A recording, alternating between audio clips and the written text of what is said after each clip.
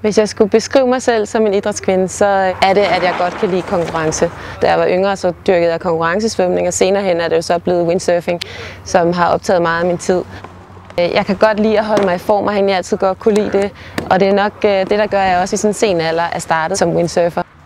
Det føles rigtig godt at, at vinde. Det er en bekræftelse på, at alt det, man gør, det, det bærer frugt, og al den tid, jeg lægger i det, at bærer derhen, hvor jeg gerne vil have det hen. Men jeg er nok sådan en lidt en, øh, en stille vinder, kan man sige. Jeg er ikke sådan en, der slår ud med armene og hoverer. Det er ikke altid, at jeg håndterer nederlag lige godt og konstruktivt altid, men jeg tager det som en læringsproces, og jeg er altid god til at komme op på hesten igen og komme videre. Der skal lige gå et par dage, og så er jeg klar igen til at træne videre og øh, sætte mig nogle mål for min træning. Min vej til A6-klassen øh, den startede egentlig ved, at, at jeg lærte at windsurf tilbage i 80'erne. Det var min mor, der købte et surfbræt, og så lærte hun min bror og jeg det. Senere hen så sejlede jeg det, der hedder Formula-klassen. Og da så øh, for fem år siden, at R6-klassen blev en olympisk klasse, der blev jeg opfordret af Dansk Sejlunion til at sejle på R6-klassen, fordi jeg på daværende tidspunkt var den bedste pige i Formula-klassen.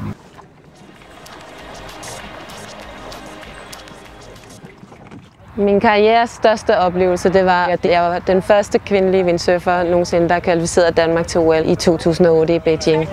Jeg blev nummer 19 ud af 27, og øh, det motiverede mig bare til, at det vil jeg gøre bedre næste gang. Så derfor så øh, er mit mål nu at sejle frem mod øh, 2012 i London.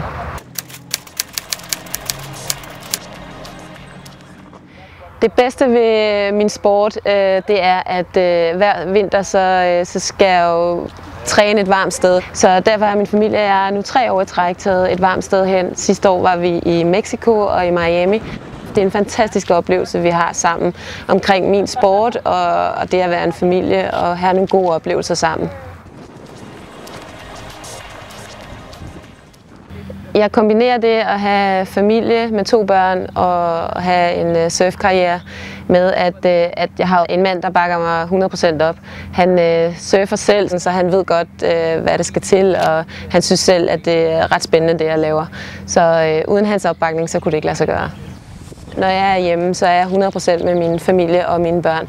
Og når jeg er væk, er jeg højst væk 10 dage, øh, når jeg er på stævner og træningslejre. Øh, på den måde kan det gå op i en højere enhed.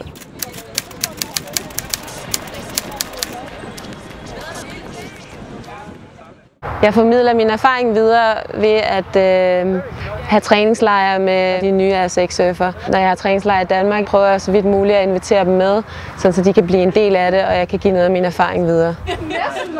Ja, der, der mangler lige.